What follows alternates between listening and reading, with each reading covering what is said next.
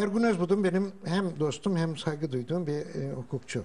Ergun'un başka hukukçuluk niteliğinden söz ediliyorsa bunu da söylemek gerekir zaten.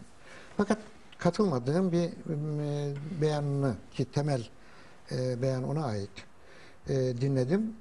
Ta- sadece cumhuriyetçiliği anayasada e, muhafaza edelim, değişmez madde olarak diğerlerini kaldıralım diyor. E, çünkü diyor bu kuşak bağlayıcı olamaz bir sonraki ve sonraki kuşaklar için koyup da şu madde değiştirilemez, değiştirilmesi teklif dahi edilemez diye bir şey koyup da bunu ileriki kuşakları bağlayacak bir iradeyi ortaya koyup empoze edemez. Teorik olarak doğru görünüyor. O zaman o zaman soru şu soru geliyor akla. Cumhuriyetçiliği niye koruyorsun?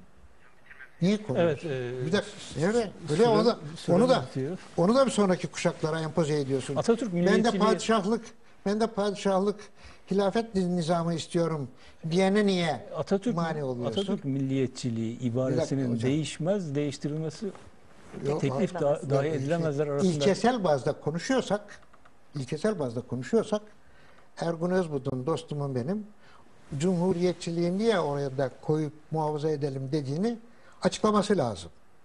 Yok yoksa diğerleri ki benim kanaatimce diğerlerinin de kalması lazım. Herhalde onlar demokrasi- onlar oldu da.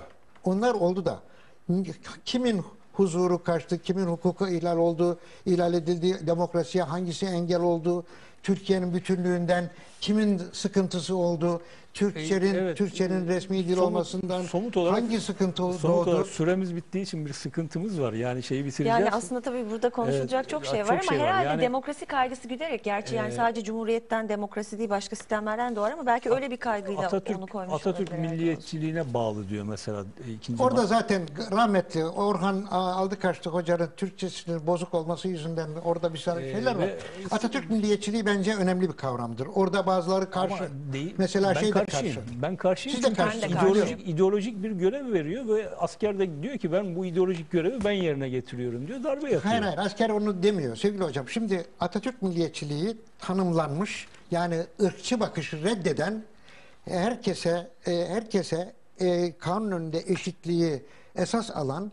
Türkiye'de tek ulus olduğunu ileri süren bir e, milliyetçilik anlayışıdır. Çok spekülasyonlara açık bu efendim. Tek e, süremiz bitti. yani ben çok fazla konuşamadım Kusura ama bakmayın süremiz bitti. olsun. Evet aslında konuşulacak. Belki de daha yeni ısınıyorduk. Belki konuşulacak- bir program daha yapın. çok Gelelim şey. Nagihan Evet, Hanım da yani- burada. Evet seve seçim seve zamanı. gelir bu anayasa meselesine hakikaten benim çok itirazım var Oktay Bey zamanı- ama vakit kalmadı. Seçim zamanı e, konuşmamız lazım. Faruk Bey gelir. Biz Faruk Bey'in